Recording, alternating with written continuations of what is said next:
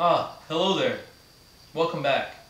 Just a few moments, we're going to start reading chapter 5. Before we do that, it's been brought to my attention that maybe my videos are too dull for middle schoolers. So, one thing I did was I created a five things I like to do during quarantine list. Check these out.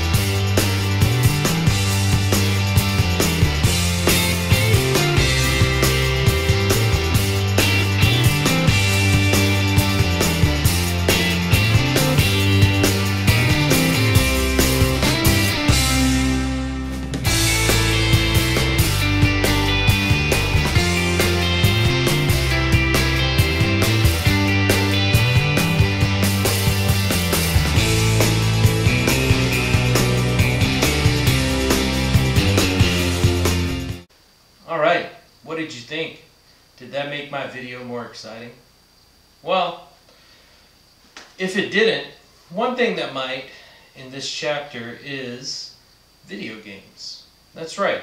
In this chapter, two of the main characters are really good at playing video games.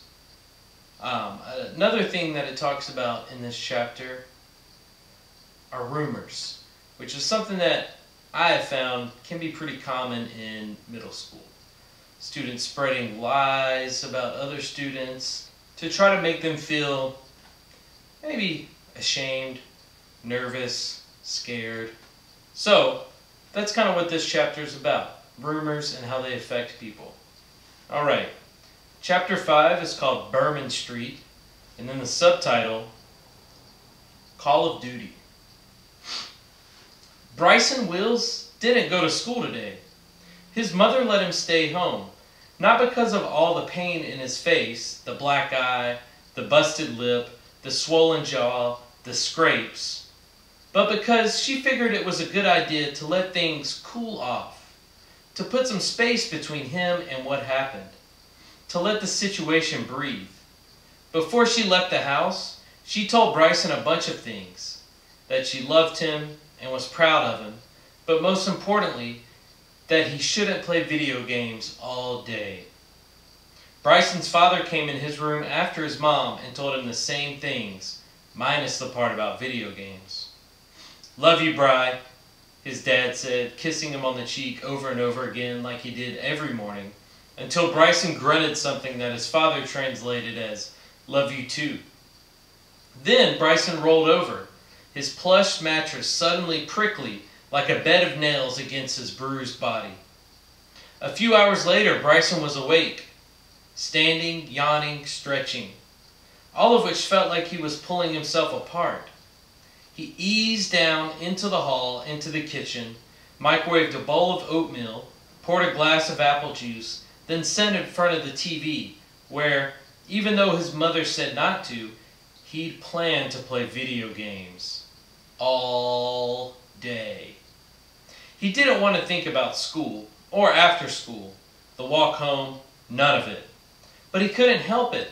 The thoughts were like the smell of coffee that seemed to linger in the house long after it had been brewed.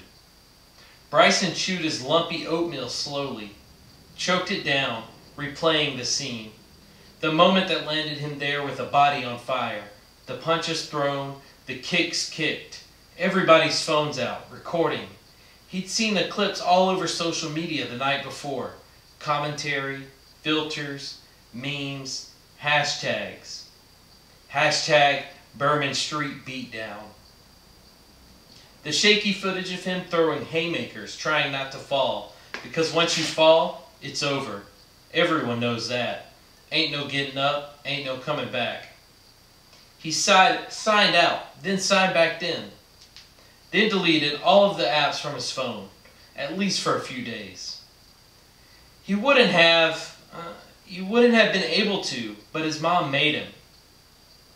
Made him unplug from the laughs and the likes, from the catchy captions and antics from kids who barely spoke in school but had mastered saying the right things online. Matched with the perfect light and angle to turn out of this world boredom into an Oscar worthy blockbuster. And now Bryson was sitting alone on the living room floor, trying to swallow sludgy oats and forget it all by going to war. The television glowed. Call of Duty. Xbox powered on. Headset on. Controller gripped. As Bryson Wills crawled into World War II.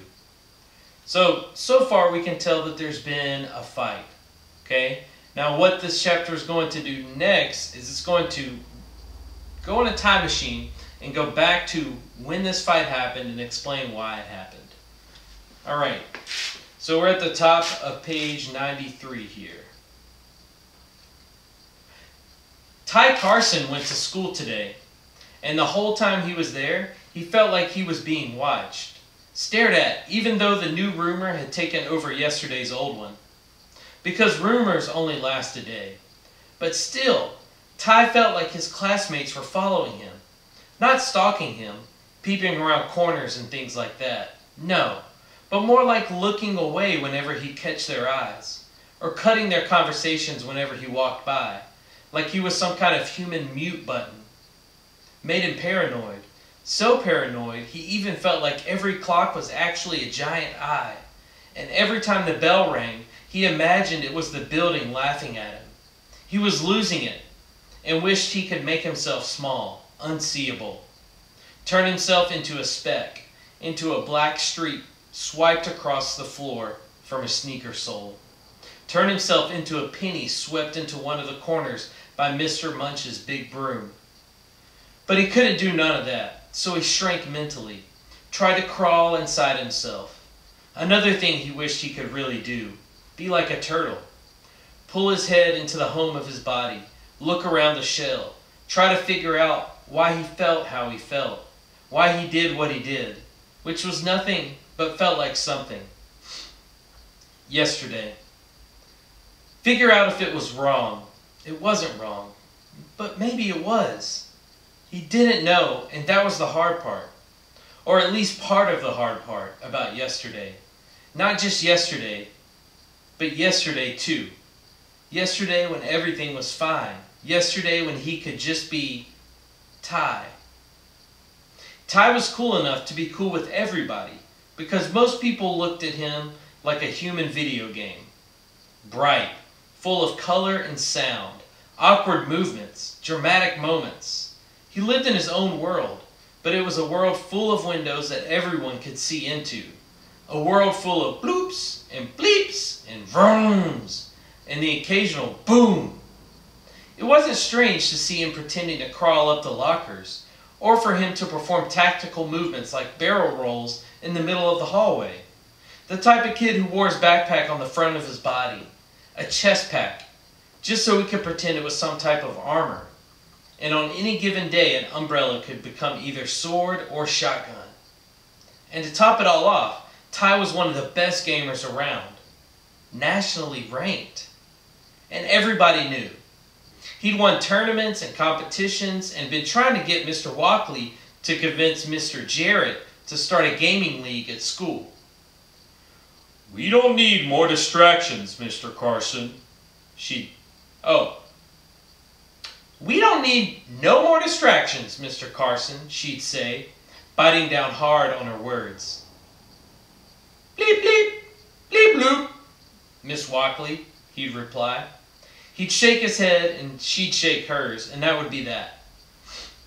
Because everyone knew Ty's gaming skills, his classmates were always trying to convince him to play on their squads. But Ty only played with the best. Well, he was the best, so the second best.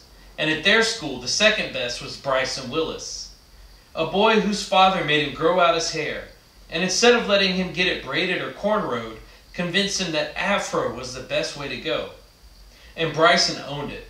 He owned it so much that his screen name was Afro Gamer. Ty's was TyRed, which he said was pronounced tired because he was so tired of beating everyone. But most gamers thought it was Ty Red, which made sense too because Ty saw red whenever he was playing. All instinct, all thumbs. Bryson and Ty lived close enough to each other to get together on weekends and play. Sometimes, Bryson would come into Ty's house, a small house over on Crossman. Bryson liked this because Miss Cece's, the world's best candy lady, lived at the top of Ty Street. And other times, Ty would come over to Bryson's house, a bigger house over on Burman. Ty preferred to play at Bryson's. The snacks were better, the TV was bigger, and a tiny dog named Max Payne wasn't running around barking and clawing at it. The game of choice? Call of Duty, World War II, which really bothered his parents. Pac-Man! Now that's a game. You just eat and run away from ghosts, which is what I like to call life, his father said, joking. Or, or Super Mario, his mother added. I mean, other than fighting the big bosses, you're basically just trying not to be eaten by the environment. Mushrooms and plants and, and turtles, his father yipped. It's nothing like what you're playing. Ty tried to convince his parents Call of Duty was educational. That it was basically like interactive social studies class. That there was no better way to learn about the particular way, war, than to jump right into it. There is no way you can know about war, son. Ty's mother scolded. Not unless you fought at one. And you haven't. You're talking about Nazis. That's a lot more than some video game. Ty understood that he didn't know the kind of war he was simulating in the game. That his controller wasn't a rifle, and his raggedy family reunion t-shirt wasn't a flak jacket. His headset wasn't a helmet, and the sounds in his ears were, in fact, just sounds in his ears. But Ty also knew that there was some kind of war he was in. Some kind of battle he didn't know, but couldn't make, he did know, but couldn't make sense of. That the other sounds in his head were more than just sounds. That they made his heart do weird things, made his stomach tighten. Ty knew the anxiety of a kind of war he knew the adrenaline and confusion of it all. Because yesterday, because yesterday, because yesterday, Ty had been kissed by a boy, Slim, at the water fountain after first period PE on his cheek, but close enough to his mouth to count. They were fighting over the water. We were fighting over the water, right? It was weird. He was surprised, but not mad, which was more surprising. It was so weird. It wasn't that weird. It was a little weird, but not a whole lot weird. It was seen by someone no one saw see it. And that someone told everyone. Everyone. And by lunch, Slim whose real name was Salem, had twisted the story, told everyone that Ty kissed him. So when Ty walked into the cafeteria, he walked into a minefield, a war zone. Everyone locked and loaded, firing at him. Bryson had heard the rumor.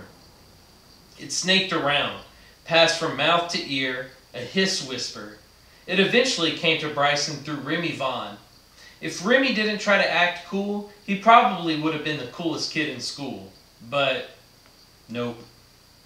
So, Bryson shot back, slamming his locker door. So, that mean he gay? No, it don't, Bryson said, annoyed. And even if it do, so what? Bryson swung his backpack onto his shoulder, watching Remy's face, trying to work out why he cared so much about Ty and Slim. So Bryson asked him, Why do you care so much? I don't. You do. I mean, here's a better question. How many girls have you kissed?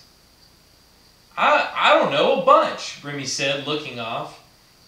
Bryson knew that was a lie, and he hadn't kissed anyone. And Bryson didn't hold that against him because he hadn't kissed anyone either. But he never lied about it. It was no big deal.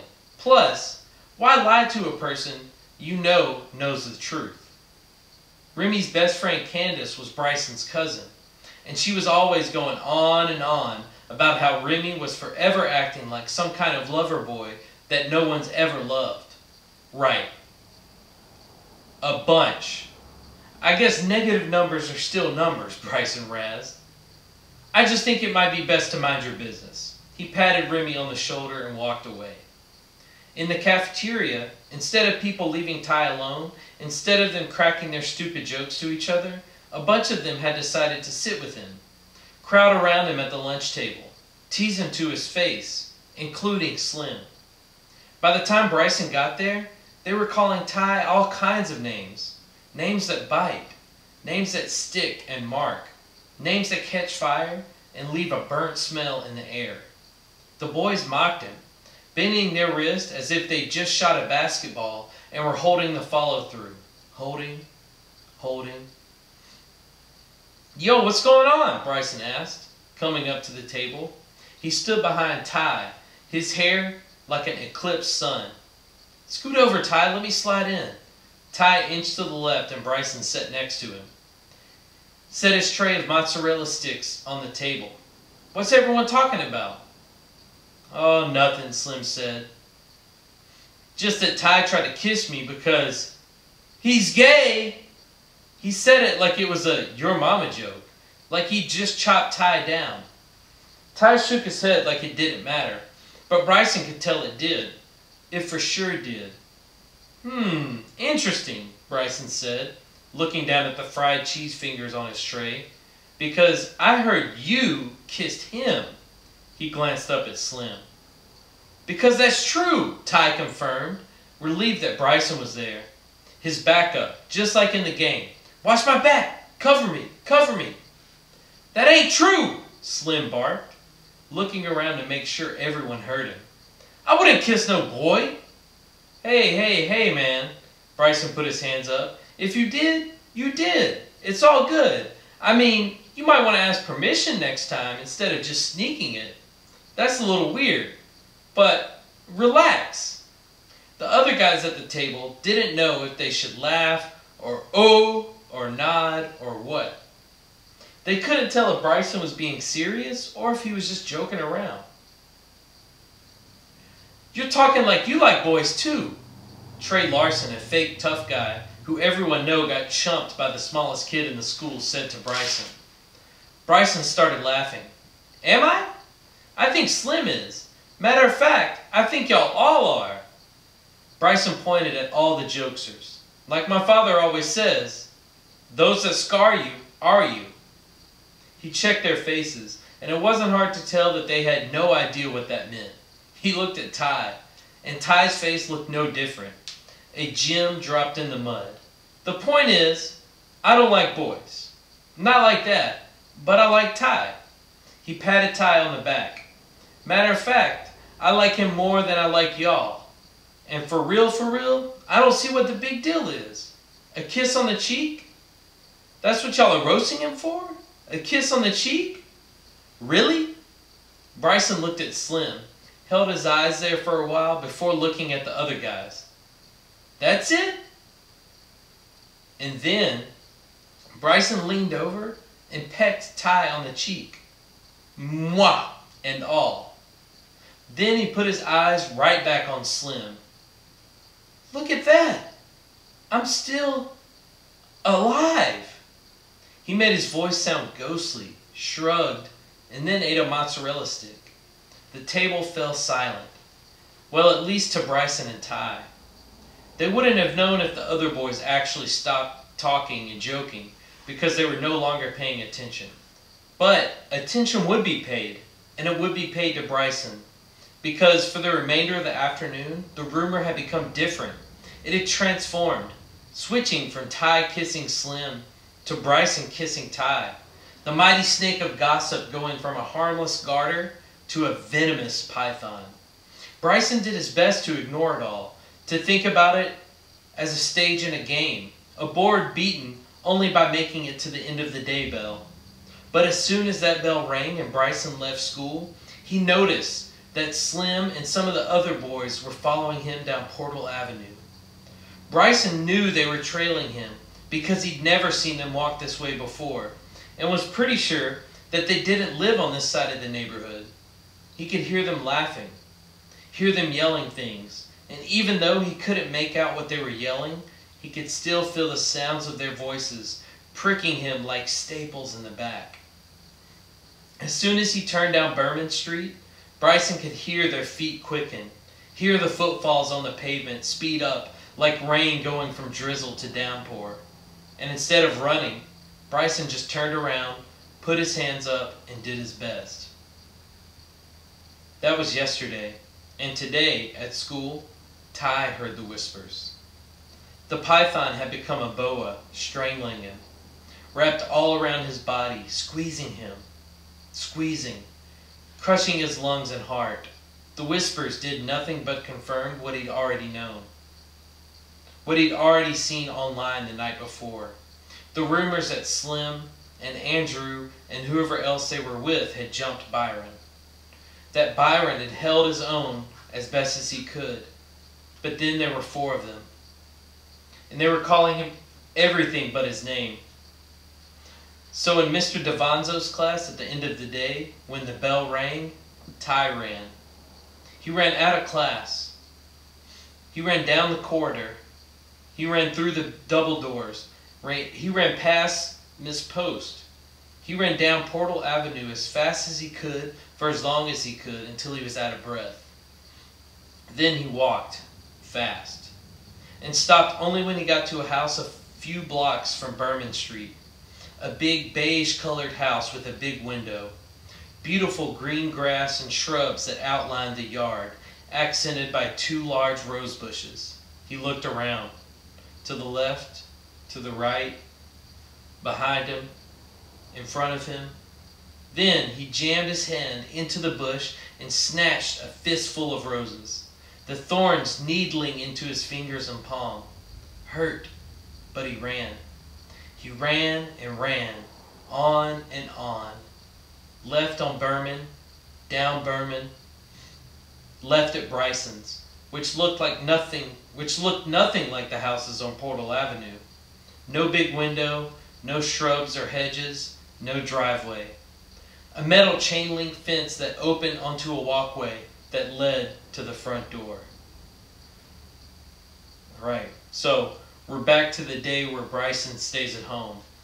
Ty is talking about, or Ty is thinking about all that's going on at school. He's hearing all these rumors, and then finally at the end of the day, he decides, I'm going to run out of the class as fast as I can, run down the street, and go to Bryson's house. So we just left off where he's going to walk up the walkway to the front door. If Bryson hadn't paused the game to make himself a bologna sandwich, he wouldn't have heard the doorbell. He'd been playing Call of Duty all day, fighting against computerized versions of Nazis and doing everything he could, mission after mission, to not get himself killed along the way.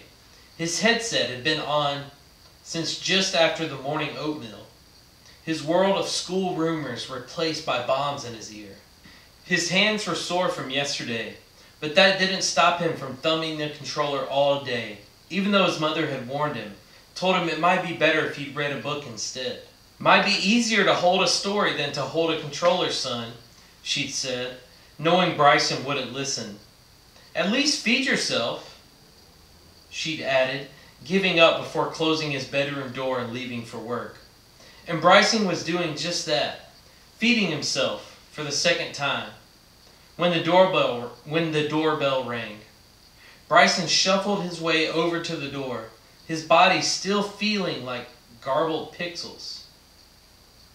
He looked through the peephole like his father had taught him, unlocked the deadbolt, turned the knob, and pulled the door open. Ty? Ty stood there, breathing heavy, holding three or four roses. It was hard to tell exactly how many because they were mangled. The human video game seemed to glitch in red streaks. The same red as the petals of the flowers was dripping from his shaking palm. You okay, man? Yeah, Ty wheezed, his back aching as if a school bus had fallen from the sky and landed right on him. Yeah, I'm okay. Are you okay? Yeah, man, I, I'm, I'm fine. I'll, I'll be fine. Ty nodded. Playing the game? He asked, trying to figure out how to make it less awkward. Been fighting the war all day, bro. Bryson smirked, wiggling his thumbs.